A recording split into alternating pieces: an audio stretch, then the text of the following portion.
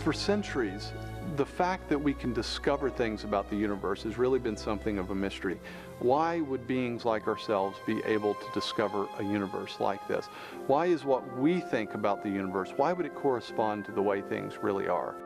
Our ability to discern and understand the universe is a fundamental part of what makes the universe tick, so that we're linked into it. This isn't just a sort of an accident, a trivial little byproduct. It is something that is linked to the great cosmic scheme of things. Now, I've no idea how that linkage works, why it's there, or anything of that sort, uh, but I'm very, very struck by the fact that we can understand the universe uh, in such exquisite detail and at such a deep level.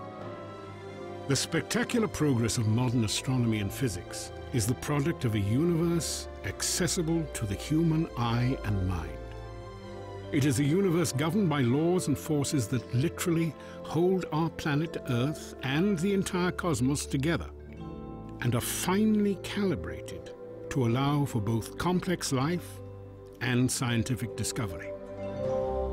If you didn't have something like gravity that pulled matter together, you would never get planets, you wouldn't get stars, you wouldn't get any complex organisms. If you didn't have the strong nuclear force, there would be nothing to hold protons and neutrons together in the nucleus. And so you wouldn't have any atoms, so no chemistry. If you didn't have the electromagnetic force, you would have no bonding between chemicals. You would have no light. And the list goes on. So you need all these sorts of fundamental principles have to be in place in order for life to occur. Wipe out one of those principles, wipe out one of those laws, no life. During the past 40 years, scientists have determined the relative strengths of each of these primary laws and forces. These strengths are so critically balanced, they are often described as being finely tuned. If you're to take the basic fundamental constants of nature and you were to change these even slightly, or you were to pick their values at random, you would almost never get a universe that would be habitable in any sort of way. That is, you couldn't have galaxies, you couldn't have planets, you couldn't have complex biological organisms if these uh, fundamental constants were even slightly different, slightly stronger, slightly weaker than they actually are in this universe. That's the idea of fine tuning. To better appreciate this concept, imagine a machine able to control the strengths of each of the physical constants. If you changed, even slightly from its current setting, the strength of any one of these fundamental forces, such as gravity, the impact on complex life would be catastrophic. If you increased it by a little bit, no large-scale life forms could exist. Anything that was more than the size of a pea would be completely crushed. So you might be able to get life of a very, very primitive sort, such as bacteria, but you could never get conscious observers. Now, this is one of a long list of properties in underlying physics that seem to be prerequisites for a universe with life. For example, the strengths of the other forces are all important, the masses of the various subatomic particles. If all of these things were even a little bit different, uh, then life uh, certainly life as we know it, could not exist. These forces and constants are another example of the correlation between life and discovery.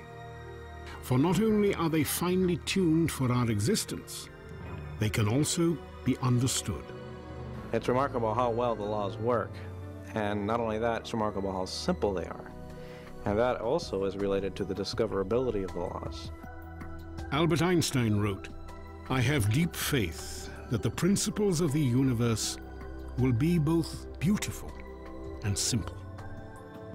For nearly 400 years, scientists have discovered an elegant simplicity in the mathematical equations that express and unlock the laws of the cosmos.